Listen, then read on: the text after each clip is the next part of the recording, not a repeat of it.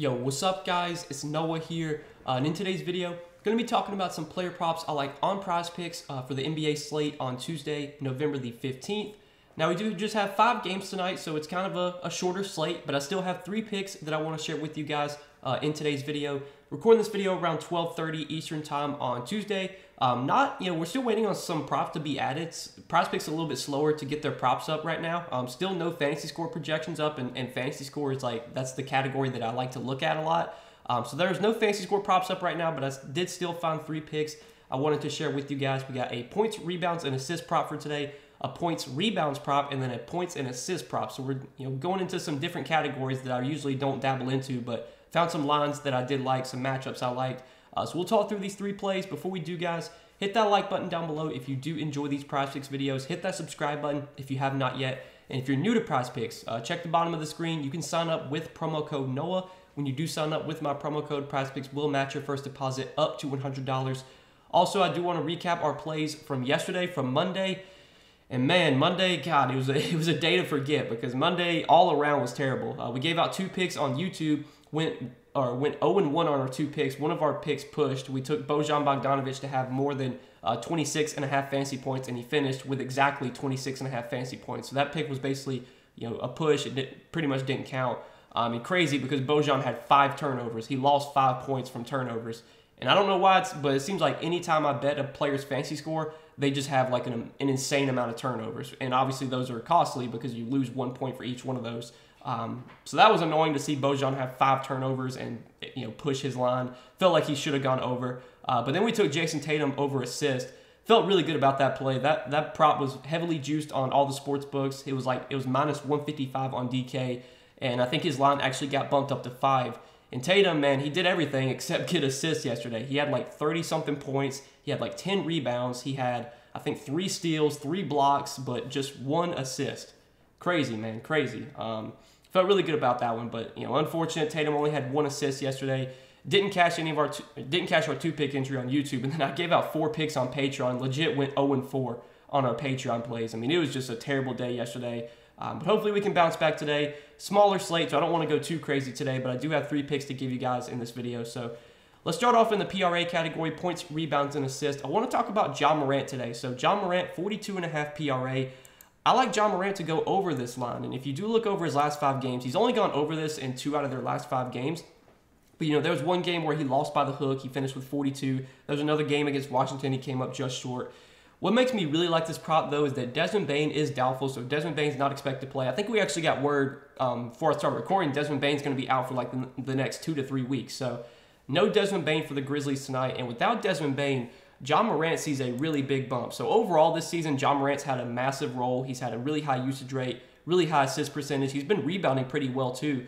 On the season, 36.3% usage rate for Ja Morant, 37.3% assist percentage uh, a 10 or 9.7% total rebound percentage.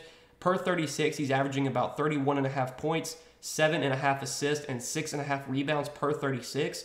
And those numbers are not, you know, counting Desmond Bane off the floor. Now, when you take Desmond Bane off the floor, 40.3% usage rate for Ja Morant. So he's got over a 40% usage rate without Desmond Bane on the floor this season.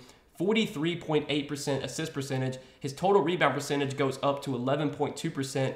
And then per 36 without Desmond Bane, 37 points, uh, seven and a half assists, and 7.3 rebounds. So I know you know you don't want to look at per 36 stats too much because obviously you know Morant's going to play. There's going to be times when he's playing with some other high usage guys like Jaren Jackson Jr. is expected to play tonight, so he's going to be playing with Triple J again. Triple J is a guy that can you know soak up a lot of usage, but I do expect Triple J to be on a minutes limit. It's his first game back from from foot surgery. Um, but per 36 this season without Desmond Bane, 37, 7.5, and 7. So basically, like 52 PRA for Ja Morant. And do I expect, you know, should Ja Morant's projection be 52? Obviously not. But I think we can expect him to take on a really big role without Desmond Bane. He's going to have the ball in his hands a lot. His usage rate's going to be sky high. It's kind of a tougher matchup against the Pelicans. You know, the Pelicans do have some really good wing defenders. Herb Jones is a really good defender. Naji Marshall can defend pretty well. But Ja Morant's just going to have the ball in his hands so much. The offense is going to run through him he's been a guy that has been able to produce even in tough matchups. And even though this might be kind of a tougher matchup, this game still has a really high total, 229 total right now, three and a half point spread. So it's expected to be a you know fairly high scoring game, expected to be a close game as well.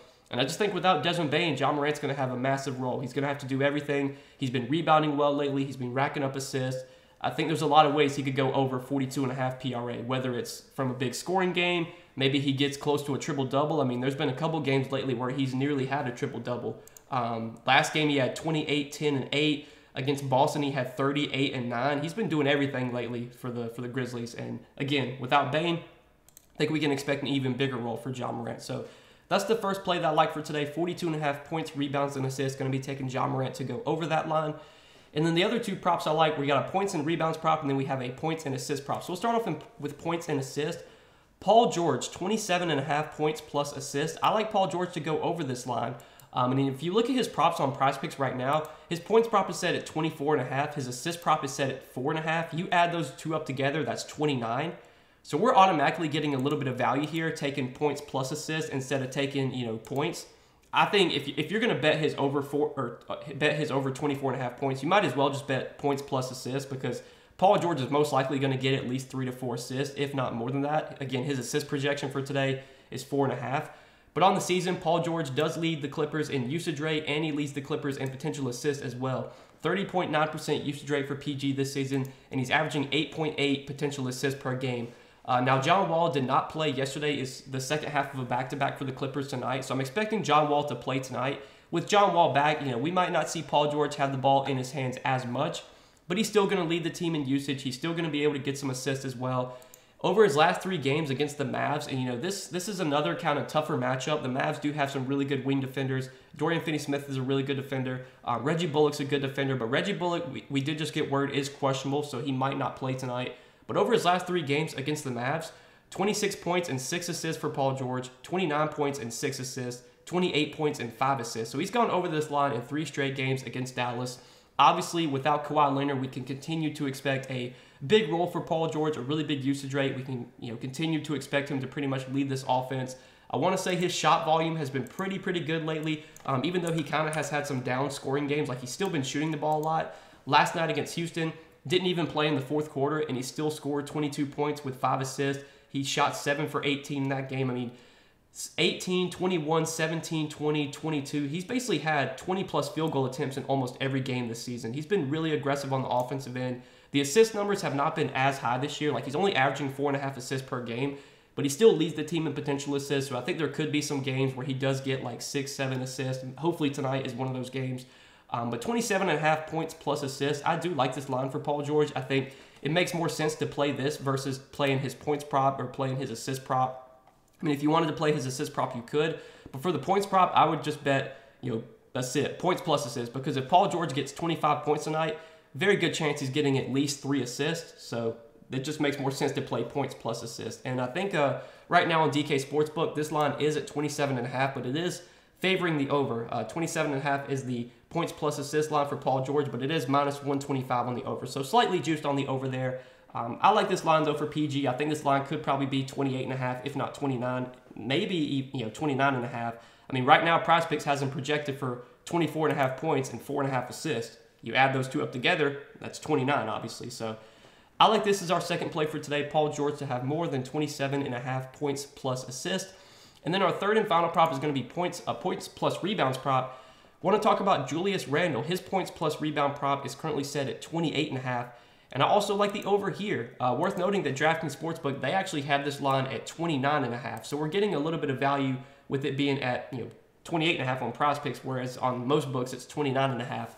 But if you look at Julius Randle and like what he's been doing lately, so for one thing, he's gone over this line now in five straight games. Um, he's hitting five straight on the season. He's hitting seven out of 13 games. But he's been rebounding really well lately, and he's also been scoring a ton. Over his last five games, 29, 31, 24, 21, and 25 points. And then rebounds 10, 8, 11, 8, and 9 rebounds. He's got double digit rebounds in three or three out of his last six games. He has at least 10 boards. He has at least eight boards in six straight games. So the rebounds have been there. I think the scoring should continue to be there. I mean, on the season, he's been averaging about 30 points plus rebounds on the season. So I think, you know, this line could definitely be a little bit higher. I think it probably should be 29 and a half, given that all the other books have it at 29 and a half. Prize Picks might bump this at some point today. I don't know. Uh, but I'll, I'll, take it to 28 and a half, get a little bit of a discount. You know, we're trying to find any little edges that we can. So 28 and a half points plus rebounds for Julius Randle. On the season, he's been averaging about 21 points and 9 rebounds per game. So again, about 30 points plus rebounds. He's gone over this line in five straight. And when you look at this matchup versus Utah, I think this is a pretty good spot for Julius Randle. So far this season, and this is something that I've talked about in my previous videos, so far this season, the team giving up the most points in the paint this season is the Utah Jazz. And, and Julius Randle's, you know, he's an elusive big. He's a guy that can stretch the floor. He can shoot threes. He's got a mid-range jumper, but he can also body you up in the paint. He's a guy that can get a lot of a lot of putbacks, a lot of you know baskets, uh, or a lot of you know made baskets around the rim. And that's where the, the Jazz really struggle. They've been giving up a ton of points in the paint this year. So I think it sets up as a pretty good scoring game for Julius Randle. I think the rebounds should continue to be there. On the season, he's second on the team in rebound chances per game, 15.1 rebound chances per game. He leads the team in usage rate. He's got a 25.3% usage rate, which is the you know highest among all the all the regular rotation guys. Leads you know has a higher usage rate than R.J. Barrett, Derrick Rose, Jalen Brunson. And you know I, I thought with Jalen Brunson on the Knicks this year, maybe we might see Randle's usage drop a little bit, but he's still been you know pretty aggressive offensively. His usage rate's still been really solid. And I want to take a look at his like shot volume as well because I, I want to say he's still been taking a lot of shots and he's obviously been scoring a ton lately.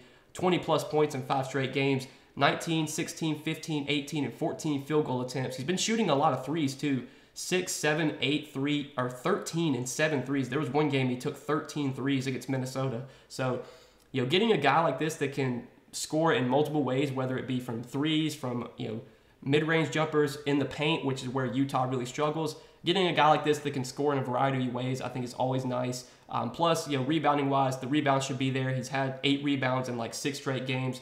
28 or 28 and a half points plus rebounds for Julius Randle. I do like the over here.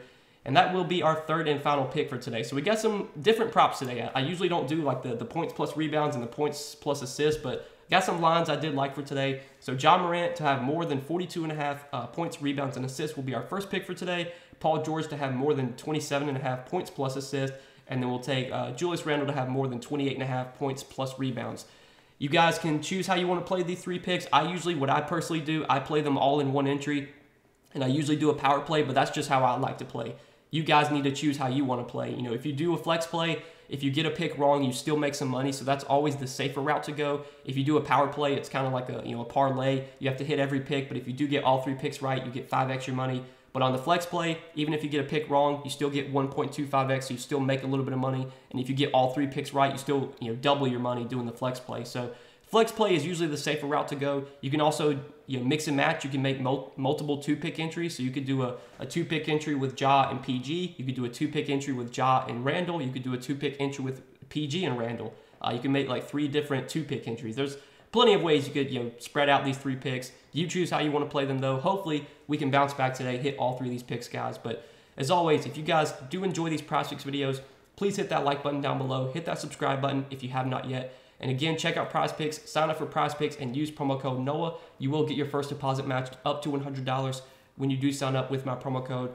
Um, if you guys want more more Prize Picks plays from me, if you do enjoy these YouTube videos, if they help you out a lot and you want more Prize Picks plays from me, I provide those over on Patreon. You can check out the Patreon link down below in the description. You can see all that I do offer over there. But best of luck tonight, guys. Thanks for watching the video. Appreciate your support as always. We'll see you in the next one. Peace.